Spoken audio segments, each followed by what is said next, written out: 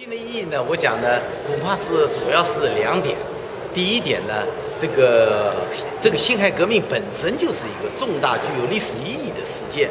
我们在这里呢，来回顾当年一百年前发生的事件，而且是以电影的形式栩栩如生。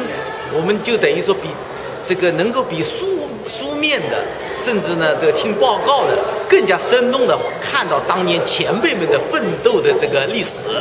我想这是我们的这个第一层意义。这个当然了，呃，讲到这里，我们也不得不说，这个中山先生，这个对我们寄予了很大的，也说过一一番这个语重心长的话。那么，希望我们把后面的事情要做好，革命尚未成功嘛，同志仍需努力嘛，就希望我们进一步把他的未尽的事业能够往前推进。第二层意义呢，在这个特特定的这个多伦多电影节举行，它有我们团是我们合作的一个象征。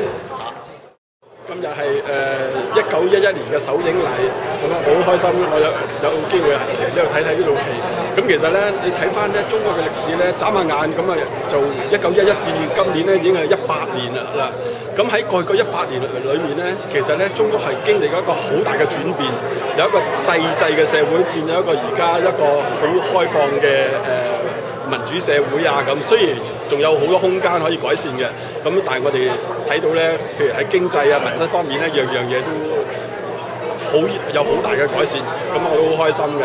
咁誒、呃，希望我哋嚟緊打後嘅一百年咧，會更加更加好。Thank you.